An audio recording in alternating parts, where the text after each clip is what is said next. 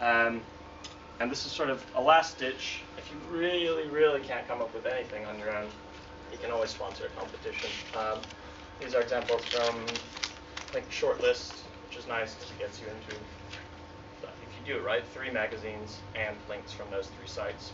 Not, not too bad, quite strong.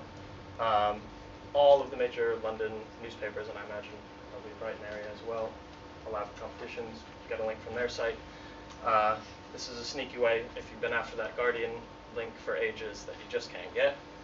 Great page rank, uh, and they're followed, uh, at least until I say this aloud, so sorry for that. Um, but yeah, anyways, try your hand with any luck. They won't take any action that way. And some people might say, but yeah, why am I sort of paying basically for a link? Uh, you may be right. It might be more efficient to just buy a link, but benefit is with a place like Shortlist, where you're getting it in multiple magazines, you are getting more than just that link. You're not just paying for the link.